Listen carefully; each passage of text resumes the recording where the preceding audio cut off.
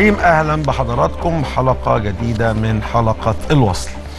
آه، الأحداث متسارعه جدا في المنطقة وكم الأخبار ممكن العقل ما يقدرش يستوعبه ويتفاعل معاه.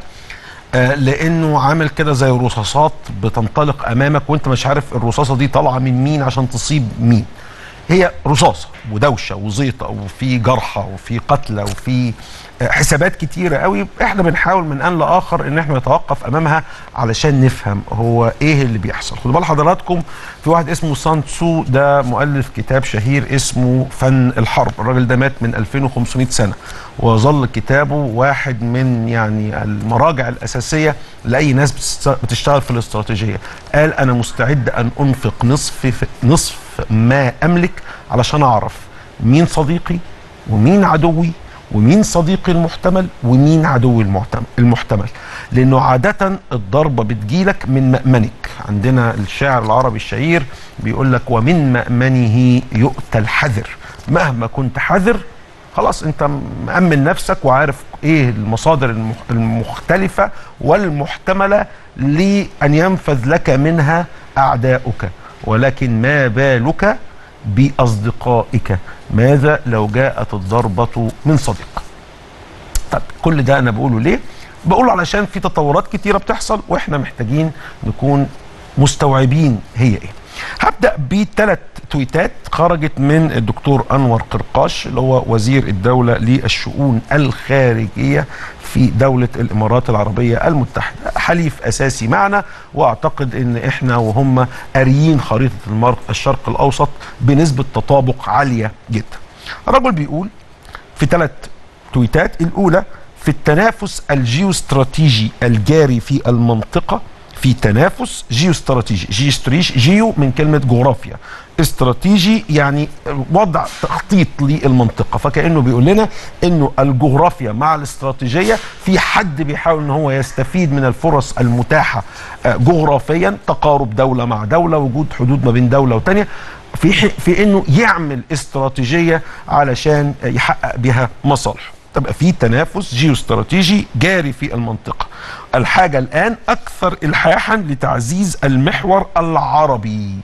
نركز هنا هو بكلمة العربي هنا لها دلالة محددة جدا. وعموديه الرياض والقاهرة. يبقى الكلام مباشرة عن أن القاهرة والرياض عليهما. بالتالي حضراتكم بتابعوا البرنامج ده قلنا أكتر من مرة أنه الأمور الأمور لابد أن تصل بين مصر والسعودية لدرجة أن يكون هناك تطابق تام في الإدراك المشترك لمصادر التهديد المحتملة. اللي أنا قعدت ساعتها فسرتها وقلت ما ينفعش يكون في عدو للسعودية صديق لينا وما ينفعش يكون في صديق لينا عدو للسعودية. لازم يكون في تطابق. ليه؟ نكمل مع بعضينا الكلام اللي بيقوله. التنافس الإقليمي على العالم العربي حائط صده عربي. وبعدين بيكمل. بيقول هناك عدة محاور إقليمية. إيه بقى المحاور الإقليمية دي؟ طبعا هو ما قالهاش بس هي إيه؟ فكر في إيران والمحاور اللي هي بتعملها. إيران مع شيعة في كتير من الدول آه، اللي فيها فيها نسب من الشيعة آه، مع حوثيين في اليمن مع الشيعة في آه، العراق وفي سوريا وحزب الله في لبنان. يبقى ده محور. تركيا وإيه اللي بتعمله تركيا في المنطقة؟ ويعني إيه النهارده يكون موجود في تونس وإمبارح في السودان وقبلها في تشاد؟ طب عايز يوصل لإيه؟ دي مش المجال الحيوي لتركيا. اذا في تنافس جديد. إسرائيل وإسرائيل لا شك إنها فاعل كبير جدا. طب إثيوبيا برضه فاعل مهم جدا على الأقل في منطقة حوض النيل.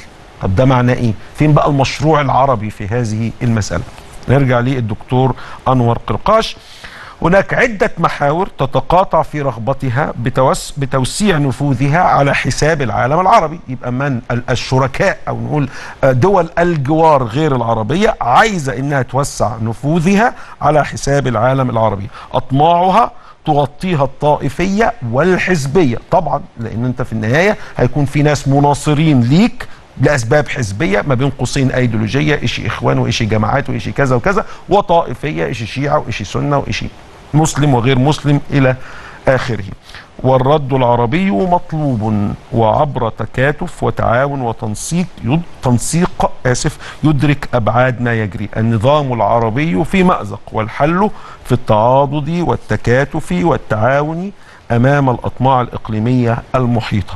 المنظور الطائفي والحزبي ليس بالبديل المقبول والعالم العربي لن تقوده طهران أو أنقرة. هنا يفصح بشكل مباشر عن طهران وأنقرة يعني عن إيران وتركيا. بل عواصم بل عواصمه مجتمعة. يعني عواصم العالم العربي مجتمعة هي من ستحدد مصير القضايا الكبرى في المنطقة أو هذا ما ينبغي أن يكون. انتهت مع زملائي شوية في أن إحنا نحاول نجاوب على سؤال. لو أنا النهاردة صانع القرار السياسي في مصر صانع السياسة الخارجية المصرية وطلبت من حد اللي بيشتغلوا معايا وقلت له إيه هي دوائر التحالفات اللي موجودة في المنطقة؟ معي أو ضدي. مين معايا ومين ضدي؟ تصورنا إنه الشكل التالي ممكن يكون الإجابة. حضراتكم لو شفتم ده مخطط حصار آسف حصار مصر. والسؤال كيفية افشاله طبعا أنا هحاول أشرح على الشاشة اللي عندي وأتمنى إنه ال- الحاجات البلوكات دي اللي فوق وتحت ما تكونش بتعوق حضراتكم عن القراءة. يعني دي دي مصر. حاطين مصر في النص اعتبار إن إحنا طبعا هذا أول ما يعنينا بل ربما هو أهم ما يعنينا. تمام. مين معانا؟ معانا الخليج معانا الأردن معانا دولة زي يونان دولة زي قبرص. واحد يقول لي يعني ليه حاططهم هنا مع إن يونان وقبرص دي ما هياش دول مهمة قوي فكر بمنطق أو نفكر مع بعض بمنطق ان هي مصالح استراتيجيه في الشرق الأوسط. إحنا عندنا عدو للأسف الشديد هنحطه ضمن العلامات اللي باللون الأحمر دي إيران حمر يعني دولة معادية لينا قطر السودان تركيا. إحنا كأننا في النص ما بين هذا الحصار. ده مش حصار جغرافي وإنما هو حصار هو الحقيقة أنت لو فكرت فيها هتلاقيه برضه في بعد جغرافي. آه إيران في آخر الدنيا بس خد بالك إن حلفاء إيران على مرمى آه يعني إيديهم مننا. يوم ما تفكر تركيا فوق خالص في الشمال. آه بس هي النهارده رايحة لجزيرة اسمها سواكن بتاخدها من آه السودان. فكأنه ضمن تركيا بقت جارة لينا. لما تفكر كده أمريكا دولة شرق أوسطية. صحيح في آخر الدنيا بتاخد لها 12 13 ساعة عشان نوصل لها بالطيارة. بس لا هي موجودة بقواعدها العسكرية المنتشرة في المنطقة بحليفتها الكبرى إسرائيل. فهي فكرة الجغرافيا ناخد بالنا إنها ما هياش جغرافيا الخريطة. لا هي جغرافيا النفوذ في خريطة تانية غير خريطة ال- الجغرافيا بمعنى ال- التباعد والتقارب ما بين الدول وما بين الأماكن. لا في خريطة نفوذ مين ليه نفوذ على مين؟ ممكن تلاقي دولة في إيطاليا.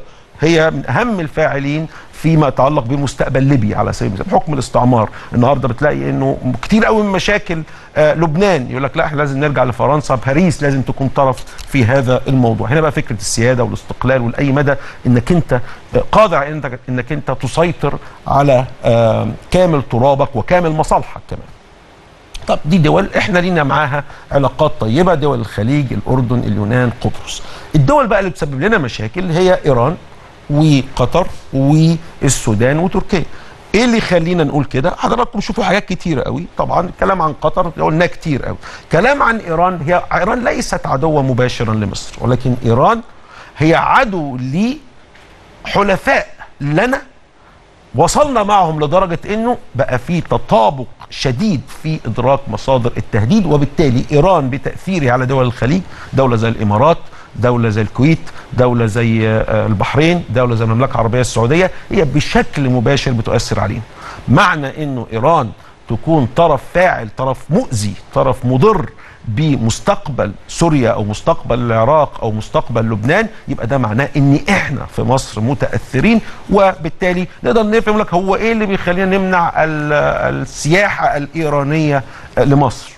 يعني فكر هو إيران السائح الإيراني مش بيجي يشتري شوية حاجات ويروح. لا ده فلان ونقدر نعمل لنا مكان يعني نقدر نستو... ننشر فيه المذهب الشيعي نوزع فيه كتب و- والى آخره. زي فكرة حسن البنا وغيره ما انتشر كده يعني كتب ومكان والى آخره. فانت لازم تكون فاهم أو لازم نكون إحنا فاهمين. أنا كصانع بد- بدعي يعني دلوقتي إن أنا في موضع بسأل ناس مستشارين بقول لهم إيه مين معايا ومين ضدي؟ لا إيران طبعا.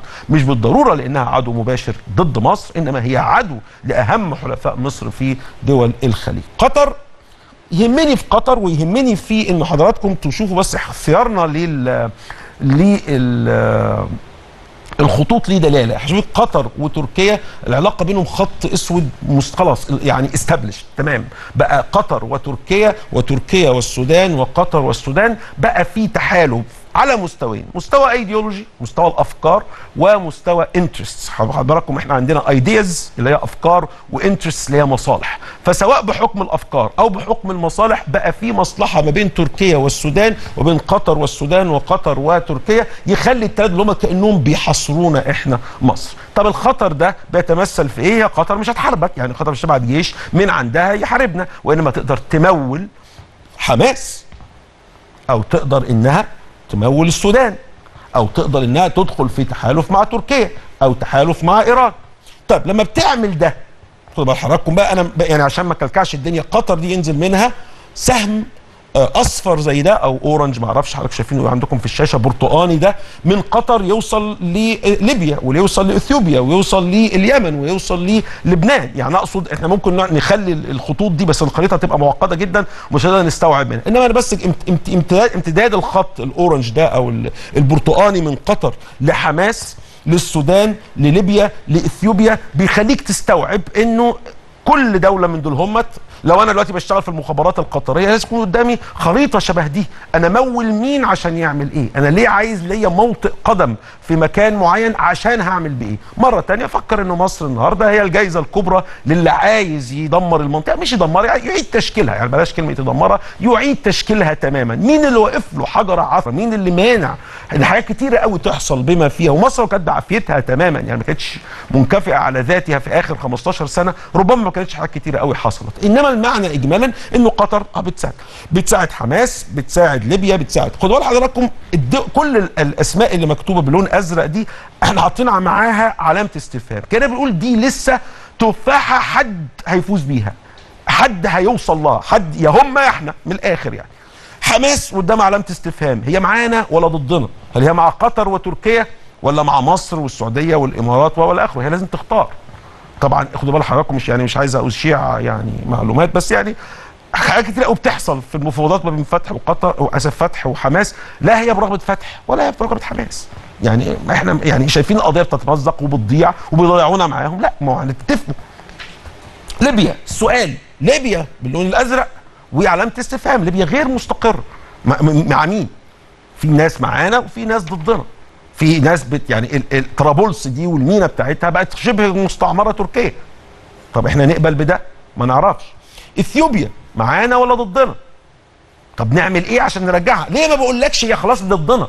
لأنه لسه النهارده في وزير الخارجية بيقول لك أنا رايح علشان أقدم لهم بروبوزل عرض بقول فيه كذا كذا كذا. لسه رئيس وزرائهم بيقول لك أنا جاي لكم في البرلمان المصري عشان أقول لكم كذا وكذا وكذا. طيب ما نسمع منه لأن أنا مش عايز ما أنا لو خليت دي كلها لون أحمر مضاد ليا يبقى أنا خسرت. يبقى لعبة الشطرنج بتاعتي اللي أنا عايز أكسب فيها خانات أنا خسرتها. لا إثيوبيا ضدي آه، وليبيا ضدي والسودان ضدي وحماس ضدي وقطر ضدي ولبنان ضدي واليمن ضدي. طب هو أنت بتعمل إيه؟ عشان كده وصانع السياسة الخارجية المصرية لازم يكون عنده رؤية إزاي يخلي إثيوبيا دي معايا هنا. ليبيا دي معايا هنا معايا مع الخليج والأردن واليونان وقبرص والى اخره نخلق مصالح نخلق مساحة من الاتفاق المشترك. طب أنا أعمل إيه؟ خد بالك أنا هقول كلام بايخ بس يعني للأسف بيتقال إن هم بيعملوا معانا كده. هو عمل إيه في مصر؟ لما لقاها قوية ومتين قال لك خلاص نزعزع استقرار مصر من الداخل. طب أنا بإمكاني إيه؟ بإمكاني بديل من اتنين. شايفين حضراتكم قطر وحماس؟ في خط كده في النص خطين زر. إحنا حاطينهم عشان نقول لحضراتكم إن إحنا دخلنا في خط العلاقة بين قطر وحماس وقفنا العلاقة. قلنا لا حماس اختاري. يا تكوني مع قطر يا تكوني معانا. ونجحنا في إن إحنا نخلي حماس تروح ناحيتنا خطوة أو اتنين. ما بقولش إنها بقت حليف لينا وإلا كنت حاططها مع دول الخليج والأردن واليونان وقبرص والكلام ده. إنما لأ إحنا ليه قطعنا عليها الخط؟ لأنه إحنا مش عايزين حماس تكون مجرد معول شاكوش سطور في إيد قطر. البديل الثاني هو إن أنا اعرف قطر نفسها. مش هو بيخلق عدم استقرار عندي في مصر؟ طب ما أنا أخلق له عدم استقرار عنده في قطر. أخلق عدم استقرار في إيران أخلق عدم استقرار في تركيا أخلق عدم استقرار في السودان. دي طريقة. ما أعرفش إحنا نحب نعمل ده أنا بقول ده أنا معتز ده اللي اتعلمته يعني. هل صانع القرار المصري يحب يعمل ده أو لا؟ أنا ما أعرفش. أو إن أنا أقول أروح داخل كده عامل خطين كده ما بين قطر والسودان وأروح أقول لا السودان إحنا مش عايزينكم تبقوا حلفاء مع قطر إن قطر دولة معادية لينا. مش عايزينكم تكونوا حلفاء مع تركيا لأن تركيا دولة معادية لينا. كونوا معانا. طب نعمل إيه؟ نعمل كذا وكذا. إيه ده برضه دي حسبه تانية. اذا اللي أنا بقول لحضراتكم إن كل خطوط الأورنج دي ما حماس والسودان وحماس وقطر وحماس وتركيا وحماس وإيران دي كلها خطوط لازم ندخل عليها علشان نوقفها. أو في المقابل إن لا أروح رايح لدولة زي كذا أنا مش هقول بقى أسماء دول بجد يعني. لا في مين حركة معارضة عندكم حركة مسلحة وندعم الإرهاب؟ أنا مش مش يعني مش من أنصار إن أنا أعمل ده. بس هو زي ما ريجن مرة قال ريجن رئيس أمريكا في الثمانينات قال لك somebody's freedom fighter is somebody's terrorist.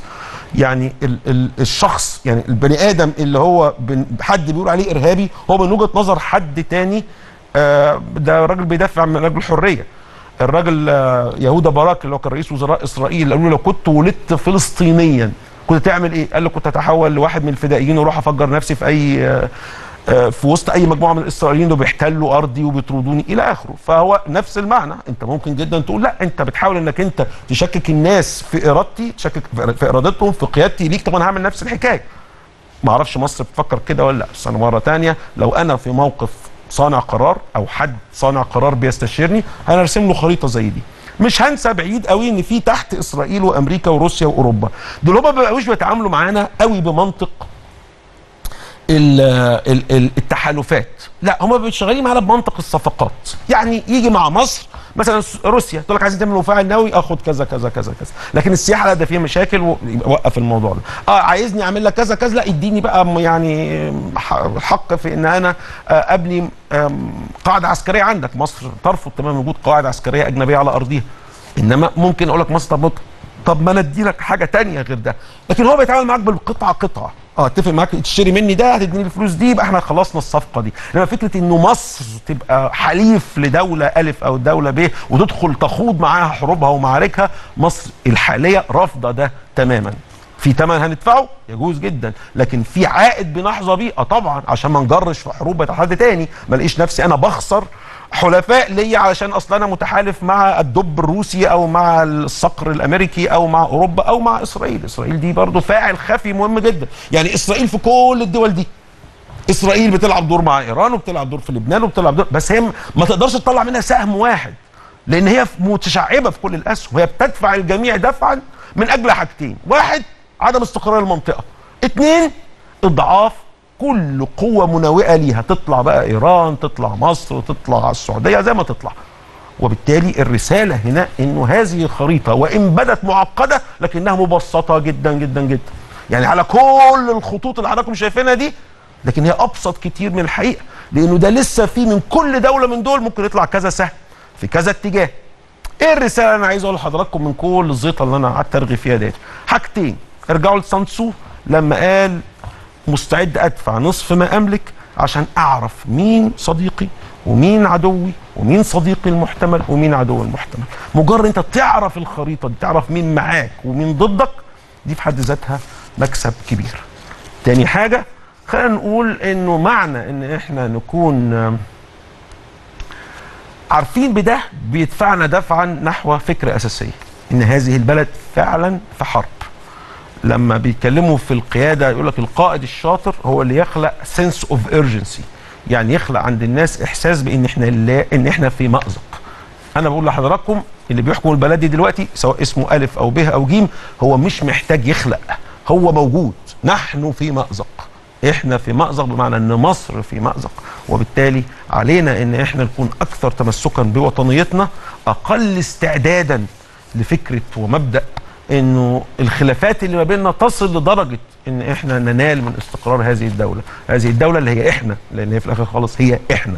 ببساطة بتخوض غمار معركة شرسة في تنافس حاد على النفوذ وعلى الجغرافيا في آه، المنطقة وإحنا مطالبين بأن نكون أكثر ثقة في أنفسنا وفي مؤسساتنا ويا رب دايما الخير لمصر. هطلع فاصل سريع وبعد الفاصل هيكون معي دكتور أيمن شبانة أستاذ العلوم السياسية بمعهد الدراسات الأفريقية جامعة القاهرة عشان ناخد جزء بقى صغير من الرسمة المعقدة دي كلها هو إيه اللي بيحصل في إثيوبيا؟ إيه اللي بيحصل في السودان؟ آه بإمكاننا نعمل إيه علشان نمنع ضرر أي ممن يريد بنا ضررا.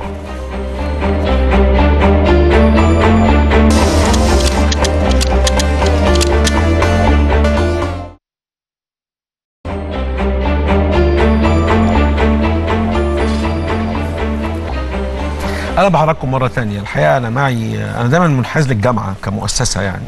ودايما الجامعة هي لو حضراتكم فكرتوا كده ال- اللي يزق مصر لقدام هي جامعاتها الناس المتعلمة الناس مكمله تعليمها يعني. آه، وعلى فكرة مش كل اللي بيتخرجوا من الجامعة مكملين تعليمهم بالذات اليومين دول. لكن أنا عندي صديق عزيز الاستاذ الدكتور أيمن شبانه أستاذ العلوم السياسيه بمعهد الدراسات الافريقيه بجامعة القاهرة وأحد نبهاء خريجي قسم العلوم السياسية بكلية الاقتصاد. ازيك يا دكتور أيمن أهلا وسهلا. منورنا يا فندم. ربنا يخليك. أيمن خليني أبدأ بالسؤال ال ال السؤال الساعة يعني. الراجل أردوغان ده إيه اللي يوديه السودان؟ وعايزين ياخدوا جزيرة مش عايزين ده اتفقوا إن هم ياخدوا جزيرة وجزيرة مهمة وواضح إنها ليها أهمية يعني استراتيجية والأتراك بقوا جيراننا وإيه يعني؟ يعني تركيا تخطط دائما للمستقبل آه. بعيد المدى. آه منذ العام 1998 لديه لديهم آه حلم للوصول إلى فضاءات سطن الفضاء الأفريقي. آه. فشلوا في أن يكونوا ذيلا لأوروبا من خلال دخول آه، الاتحاد الأوروبي. الأوروبي. آه. فأرادوا أن يكونوا راسا للعالم الإسلامي. وبالتالي أحلام الزعامة أحلام الخلافة آه، استعاده الخلافة التركية وهي ليست لأغراض دينية آه، فحسب مثلما آه، يرى البعض ولكن لأغراض سياسية وأغراض استراتيجية. آه، وضعوا خطة للانفتاح على القارة الأفريقية منذ العام 2003 انضموا لعضوية الاتحاد الأفريقي كعضو مراقب في العام 2005 ثم في العام 2008 حصلوا على مرتبة الشريك الاستراتيجي بالاتحاد الأفريقي. يعني إيه دي؟ شريك الاستراتيجي بمعنى أنهم شركاء للاتحاد في ال- التخطيط للمستقبل في الانفتاح على العالم في المفاوضات يعني لهم عيون ودان آه، جوه. وطبعا يحضرون قمم الاتحاد الأفريقي إن لم يكن بشكل طبعا هم ليسوا أعضاء في الاتحاد الأفريقي كعضو كامل ولكن عضو مراقب يحضر الاجتماعات وربما يشارك في المناقشات وهم بالتالي آه، قريبين من دوائر صنع القرار لدى الاتحاد الأفريقي. نعم. أيضا أعضاء في بنك التنمية الأفريقي يعني العضو خمسة رقم 25 من خارج آه، الدائرة الأفريقية أو من خارج نطاق القاره الأفريقية هم الأتراك. يتحركون الآن في بقاع استراتيجية في القارة الأفريقية. مم. راح- راحوا تشاد. آه، ر- آه، ذهبوا إلى تشاد ولم يكتفوا بذلك ولكن غرسوا وثبتوا أقدامهم في الصومال. يعني ال- أقاموا قاعدة عسكرية في الصومال أقاموا أكبر سفارة أجنبية في الصومال آه، في مقديشو على مساحة 47 ألف كيلو متر 47000 سفارة؟ 47 ألف كيلو متر. سفارة؟ آه، سفارة وأين تعمل سفارة دكتور معتز؟ تعمل السفارة من قلب مقديشو يعني الولايات المتحدة الأمريكية نقلت آه، سفارتها ومؤسساتها خارج آه، مقديشو وربما في دول الجوار كينيا مثلا أو إثيوبيا. وبعض الدول نقلت هذه السفارة منها مصر نقلت السفارة خارج ال- الصومال. طبعا باعتبار أن هناك أوضاع أمنية غير مستقرة ومتردية. ولكن تركيا تعمل من داخل مقديشيو. حتى أن الصوماليين يقولون إنهم يشاهدون الأتراك. لا يشاهدون غير الأتراك بانتظام في مقديشيو. يدفعون أربعة ونصف ملي- مليون دولار شهريا لحكومة الصومال لسداد الرواتب وخلافه. أيضا أقاموا المستشفيات والمدارس والمصانع وال كل ما ما هو ما هو متعلق بمدخلات البنية الأساسية في ال- الصومال أقاموها. حتى أن المواطن الصومالي رحب جدا على غير العادة بالقاعدة العسكرية التركية في ال- الصومال. وقال إن أيضا تركيا هي الدولة الأولى في إعادة الإعمار في الصومال. تليها الإمارات تليها آه، قطر. آه، وبالتالي الأتراك موجودون. أيضا مسألة التجارة.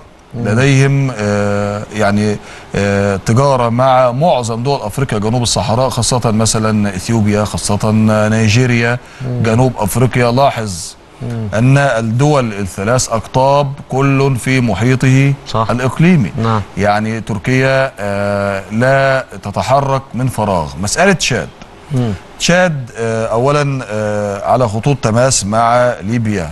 وحيث محاربة ال- الإرهاب وحيث وجود عناصر إسلامية آه، تتصل بتركيا داعش والإخوان المسلمين وغيرهم في آه، ليبيا. تشاد أيضا عضو في أو مش وليست عضو ولكن ال- الفاعل الأساسي في محاربة الإرهاب في غرب أفريقيا ضد جماعة آه، بوكو حرام. من خلال عملية برخان أو الكثبان الرملية وهي قاعدة موجودة في تشاد مدعومة من فرنسا. ولخطورة الأمر آه، دعني أذكر نفسي والسادة المشاهدين بأن فرنسا لم تتدخل في أي صراع داخلي في دولة أنجلوفونية في القارة الأفريقية خاصة في غرب أفريقيا باستثناء تدخلها العسكري غير المباشر لمواجهة جماعة بوكو حرام في في نيجيريا. بعد أن شبت بوكو حرام عن الطوق وهاجمت ال- الكاميرون وهاجمت النيجر وهاجمت تشاد وهي مستعمرات فرنسية سابقة. آه سابقة. وأيضا تركيا آه تتحرك في إثيوبيا للضغط على مصر من مسألة منابع النيل. ال- النيل مصلحة مصيرية ليست آه، مصلحة حيوية وليست مصلحة عظمى. وليست مصلحة ثانوية ولكن الأمن المائي المصري مصلحة مصيرية. يرتبط بها وجود الدولة المصرية بقاء وعدما. وبالتالي عندما آه، نتحدث منذ القدم يتحدث هيرودوت ويقول مصر هبة النيل هذا الأمر ليس من فراغ. لا توجد دولة واحدة في العالم ساهم في تشكيلها ظاهرة طبيعية واحدة إلا مصر. التي ساهم في تشكيلها نهر النيل. هذه مقولة الدكتور العلامة آه، رحمه الله جمال حمدان. النيل هو أطول شارع في مصر. يعني النيل يخترق مصر منذ صحيح. من, الجنوب خط عرض 22 حتى البحر المتوسط. هل يوجد شارع أطول من هذا الشارع في مصر؟ نعم. النيل هو العمود الفقري للدولة طيب المصرية. أنا هستأذنك يا دكتور أيمن. أنا هطلع في فاصل بس بعد الفاصل أنا أول حاجة أحب إن أنت تشير إليها آه، أو تفسرها لنا لماذا يجتمع رؤساء أركان قطر وتركيا والسودان في الخرطوم امبارح؟ ليه؟ بيعملوا إيه؟ عايزين إيه؟ يعني عايز أقول عسكريا إيه؟ مين اللي ممكن يكون مستهدف بتنسيق بين رؤساء أركان قطر وتركيا والسودان اللي بيكون إحنا يعني؟ وحتى لو هم يعني لو إحنا طب عايزين مننا إيه؟ فاصل ونرجع نكمل نقاشنا مع دكتور أيمن شبانه أستاذ العلوم السياسية بمعهد الدراسات الإفريقية جامعة القاهرة.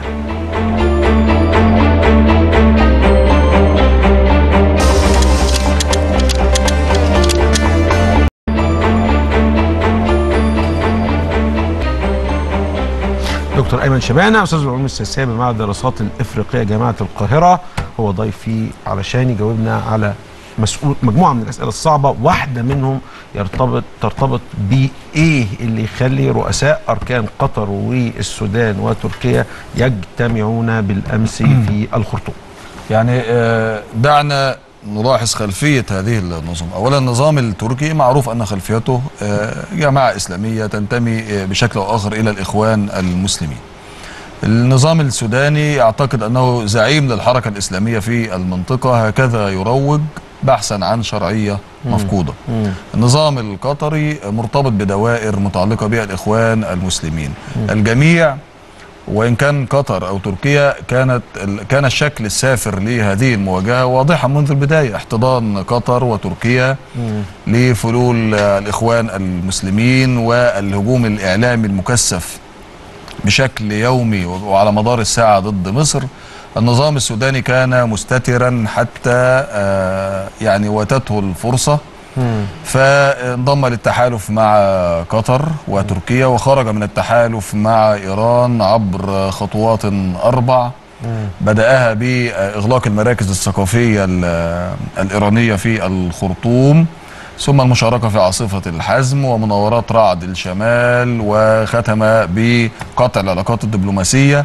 مع إيران في يناير من العام 2016 على خلفية اغتيال أو إعدام نمر النمر اللي هو آه، الزعيم الشيعي في المملكة العربية السعودية. استاذنك يا دكتور أيمن لأنه معي آه، ال- اللواء الدكتور سمير فرج المفكر الاستراتيجي المفكر السياسي والاستراتيجي. مساء الخير يا دكتور سمير.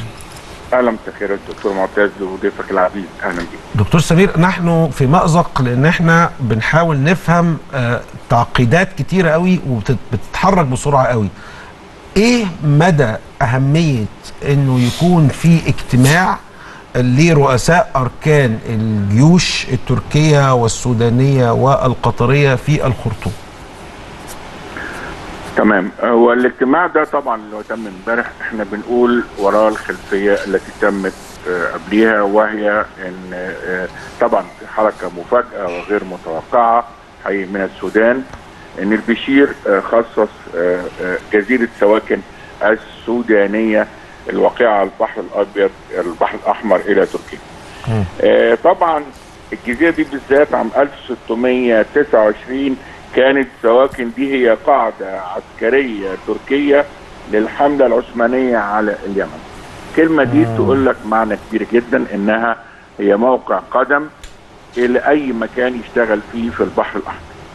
حاجة تانية إن البحر الأحمر النهاردة بيعتبر أحد مناطق الاهتمام أو دوائر الأمن القومي المباشرة بالنسبة لمصر إن أي تغييرات فيه بتؤثر تأثير مباشر على قناة السويس اللي عندنا وبالتالي نقول إنها تمثل تلت الدخل القومي المصري. نعم. فعشان كده إحنا حطينا في اعتبارنا منذ حوالي سنتين لما بدأت القلاقل اللي تحصل في اليمن إن إحنا لازم تكون عندنا قوة عسكرية تتواجد بالذات في البحر الأحمر وعلى الأخص في باب المندب نعم. فالنهاردة لما تيجي عناصر زي تركيا بعيدة تماما عن الميدان بتاعنا. زي ما قال ضيفك العزيز إنها كانت بتعمل قبل كده على تبقى لها زعامة إسلامية، زعامة شرق أوسطية، زعامة تدخل الاتحاد الأوروبي، لما جت دلوقتي تخش تاني في أفريقيا الموضوع ده يقلق. وبالتالي إحنا قلقانين لأن في تغير جوهري في الاستراتيجية في منطقة البحر الأحمر. يؤثر على الأمن القومي المصري وزي ما قلت لك بالذات قناة السويس. نعم. وجاء ده مفاجئ. فبالتالي يترجم ده لإيه بقى؟ لما تترجم حاجة زي كده يترجم إلى اجتماع رؤساء الأركان الدول الثلاثة. وأنت عارف الدول دي بالذات رؤساء الأركان بيمثلوا هم القيادة الرئيسية لقواتهم المسلحة في الدول دي لأنها كلها رئيس أركان بيمثل قوة رئيسية. نعم. هنلاقي قطر بأموالها هنلاقي آه، تركيا بتواجدها دلوقتي في آه، آه، هيبقى موجود في السودان ثم زي شرح ضيفك العزيز في الصومال وده نعم. طبعا شيء مقلق جدا أيضا لمصر ثم دخلنا في السودان وهي أرض المنطقة اللي عاملة لنا المشاكل. فبالتالي ده بيبقى آه، اجتماع هدف من تنسيق المعلومات. تنسيق العمل المستقبلي في هذه المنطقة وأعتقد إن ده تغير كبير جدا في استراتيجية المنطقة بالذات على الحدود الجنوبية بتاعتنا. وباتجاه دائرة القوم ال ال ال الأمن القومي القريبة اللي هي البحر الأحمر. بشكرك دكتور سمير فرج المفكر الاستراتيجي وإن كنت أنا يعني عايز حضرتك على الهواء مباشرة حتى لو كان معلش سامحني أنا عايز من حضرتك حلقة كاملة نقدر نقرأ فيها إيه اللي بتعمله قطر وتركيا والسودان والقصة دي لأنه يعني أعتقد حضرتك عارف أهمية ان, إن إحنا نكون فاهمين يعني فإن شاء الله يكون لنا لقاء مع الدكتور سمير فرج قريبا بإذن الله يعني بالإضافة لما تفضل به الدكتور سمير فرج نعم. لماذا تنضم السودان إلى هذا التحالف؟ آه. النظام السوداني منذ العام 1989 يقدم نفسه للسودانيين باعتباره أنه نظام الإنقاذ الوطني. آه. أنه النظام الذي سوف يأخذ بيد الشعب السوداني للتقدم والتنمية. هل حدثت تنميه في ال- السودان؟ السودان في عهد هذا النظام انفصل الجنوب السوداني، مساحة الجنوب آه، تفوق مساحة حلايب 32 مرة. وبالتالي لماذا التشبث بمسألة حلايب في. الوقت الراهن هم يعتقدون أن الدولة المصرية بلغت مبلغا من ال- الضعف يجعلهم قادرين في المرحلة الحالية على المساومة. بمعنى نقف معكم مثلا في مسألة سد النهضة مقابل أن تتنازلوا عن حلايب. دكتور أيمن سد النهضة. إيه الموضوع؟ وزير خارجيتنا راح وسمعنا كلام عن انه مصر بتقترح ان البنك الدولي يتدخل سوف ترفض إثيوبيا. هذا العرض المصري رغم أنه عرض الفرصة الأخيرة أو العرض الأخير الذي يمكن أن تقدمه مصر على صعيد التسوية السلمية. لأنهم يريدون تنفيذ مخطط أبعد في مدى من مسألة إنتاج الطاقة أو تخزين المياه هم اولا ليسوا في حاجة إلى المياه. ثانيا مسألة تخزين الطاقة يمكن أن تتحقق بكمية تخزين في بحيرة السد تصل إلى مثلا ربع الكمية التي عايزينها. أو خمس الكمية حتى التي يريدون تخزينها. 14 مليار متر مكعب من المياه وليس 74 هي كمية كافية لتخزين نفس أو لتوليد نفس الكمية من الطاقة ولكن إسرا... آه، إثيوبيا. آه، بالطبع بدعم أمريكي بدعم إسرائيلي تريد أن تحول قوتها المائية إلى قوة سياسية. تريد أن تتحكم في التفاعلات في إقليم حوض حوض النيل. مثلما هي فاعل أساسي في التفاعلات في القرن الأفريقي. تريد أن تقدم نفسها للدول الغربية وللقوى الإقليمية باعتبارها الشرطي أو الفاعل الذي يمكن الاعتماد عليه في ترتيب الأوضاع في المنطقة.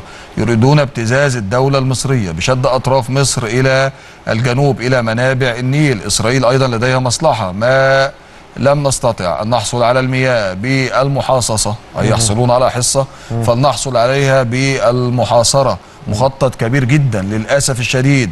السودان تتماهى مع هذا المخطط الإثيوبي. حولت نفسها من وسيط شريك اولا في أزمة سد النهضة. إلى وسيط ثم إلى داعم والآن مروج للسد. لماذا النظام السوداني؟ لأن النظام السوداني فقد شرعيته في الداخل. لديه اولا دولة انقسمت ومرشحة لمزيد من الانقسامات في دارفور وفي شرق السودان وفي جنوب كردفان وفي النيل الأزرق.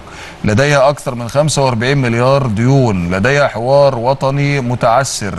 آه، لديها آه، آه، علاقات متأزمة مع الدول الغربية. ما زالت ضمن قائمة الدول الراعية للإرهاب. ما زالت السودان في مشكلة مع المحكمة الجنائية الدولية تورطت في الصراع الداخلي في ليبيا ودعمت قوات فجر ليبيا وعناصر مسلحة في آه، ليبيا. آه، هذا النظام في كل أو في خضم هذا ال- التأزم الداخلي يبحث عن النجدة أو المدد أو ال- الغيث في الهروب إلى الأمام. وهو يتماهى أيضا مع التيار الرافض لتنمية العلاقات مع مصر داخل السودان. لأن السودان السياسة الخارجية السودانية الآن يتنازعها تياران التيار الأول تيار راغب في علاقات قوية ووثيقة مع مصر تيار وطني. تيار عروبي لا يعمل من أجل سودان ومصر آه، فقط ولكن يعمل من أجل وطن عربي أو نظام إقليمي عربي آه، ككل. في مقابل تيار آخر يرفض يرفض تنمية العلاقات مع مصر ويتعامل مع مصر باعتبارها دولة احتلال دولة عنصرية دولة توسعية. آه، هذا التيار ال- الرافض للعلاقات مع مصر للأسف للأسف آه، يفرض وجهة نظره على النظام السوداني في الوقت ال- الراهن. ودكتور معتز يعني آه، دائما تحدث توترات في العلاقات ما بين الدول. هذا الأمر معروف جدا. دائما هناك ملفات تعاونية وأخرى خلافية لكن أن يأتي رأس الدولة السودانية ويسمم العلاقات الشعبية بين مصر والسودان هذا هو الجديد هذا هو الذي لم نألفه في العلاقات بين مصر والسودان. دائما قد يأتي مسؤول صغير آه، ويصرح بتصريح غير مناسب. إنما الكبير ولكن. آه. دائما هناك مرجعية أن تأتي ال- ال- المشكلة. أو يأتي التصريح غير المناسب من رأس الدولة السودانية فيتهم مصر دون دليل حقيقي لن أقول يقيني. يعني نعم. حتى دليل ظاهر. أشكرك يا دكتور أيمن. شكرا جزيلا. أعتقد أن حضراتكم يعني لمستم أنه إحنا بالفعل أمام مأزق. المأزق ده بيتطلب إن كل واحد فينا يقوم بمهامه. إيه هي بقى؟ ممكن نتكلم عنها بعد من كده بس إحنا ما إحناش ما حدش بيدعي على عليكم أو على المصريين يعني. إنه التحديات دي آه، حد بيختلقها؟ لا هي تحديات حقيقية. وإن شاء الله إحنا قدها أهم حاجة نعرف ان التحديات موجودة ونفهم أسبابها عشان نشوف إيه العلاج اللي يناسبها. بشكر ضيفي الدكتور أيمن شبان أستاذ العلوم السياسية بعد الفترة الأفريقية. شكرا جزيلا. عفوا دكتور. عفوا واشكر. حضراتكم شكرا جزيلا. هذا ما أمكن اراده وتيسر إعداده وقدر الله لنا قوله. تصبحوا على خير